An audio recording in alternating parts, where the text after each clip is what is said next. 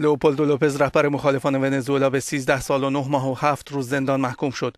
جرم آقای لوپز تحریک مردم به اعتراضات ضد دولتی در سال 2014 اعلام شده. اعتراضاتی چند ماهه که طی آن بیش از 40 نفر کشته شدند. روز پنجشنبه طرفداران آقای لوپز در کاراکاس پایتخت ونزوئلا از اعلام این حکم دچار بهت و اندوه شدند اما همسر او لیلیان تینتوری نگاه امیدوارتری دارد.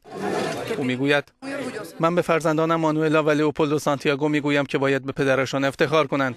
اصیل ترین مبارزه ای که یک انسان می‌تواند انجام دهد مبارزه برای آزادی عدالت و حق مردم است و این کاری است که لئوپولدو دارد می‌کند.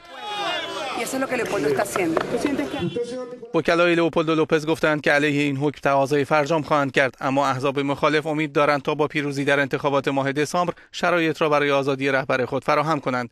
یکی از رهبران اتحاد مخالفان می‌گوید 13 سال خیلی طولانی است اما 85 روز باقی مانده تا انتخابات سریع میگذرد. در این 85 روز ما می توانیم به رأی مجلس امیدوار باشیم که قانون عفو آشتی را تصویب کند. به این ترتیب لئوپولدو لوپز با تصمیم و حکم مردم ونزوئلا آزاد خواهد شد. روز پنجشنبه پیش از اعلام رأی دادگاه میان طرفداران لئوپولدو لوپز از یک سو و سرخپوشان طرفدار نیکولاس مادورو رئیس جمهوری فعلی و چاوز رئیس جمهوری پیشین از سوی دیگر زد و خوردهایی روی داد که باعث مداخله پلیس شد.